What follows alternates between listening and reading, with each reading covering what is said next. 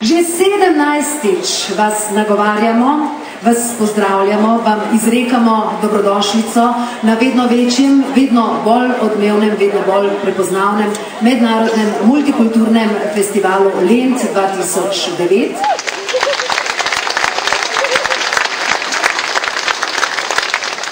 V teh dnevih želijo naša srca.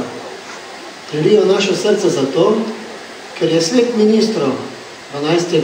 maja letošnjem letu sprejel odločitev, da mesto Maribor skupaj s partnerskimi mesti bo kulturno mesto leta 2012.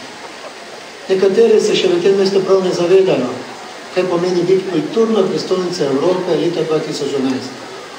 Vsa kulturna Evropa bo z svojim očesom ozrta prav v to mesto, v vse programe, v vse kulturne projekte, vse investicije, ki so kakorkoli pred nami. Zato sem vesel, kot župan univerzitetnega mesta, da nam je uspelo. In tisti, ki smo kakorkoli delali na projektu, vemo in se zavedamo, da je bila prehojena težka pot, da smo prišli do te nominacije. Pred nami je še težja pot. Pred nami je takšna pot, da bo potrebno poskrbeti, da bodo vsi tisti cilji, projekti, programi, ki smo jih uspešno zagovarjali v Bruslu, tudi izpeljani. Uh, bogati so ti dnevi, ki prihajajo, uh, zahtevni, tako rekoč dopust si je potrebno vzeti za vse to videti, uh, kar se, kot pravimo, v različnosti, v različnosti žanrov, v različnosti pristopov, lokacij, uh, generacij. Skratka, to mravlišče tukaj na Lentu, dobro ga peljete. Predvsem pa mislim, da je to zelo, zelo dobra generalka, došč časa, skoraj do polnoletnosti se, ste jo pripeljali, zato ker vas čaka, oziroma nas čaka vse skupaj leta 2012.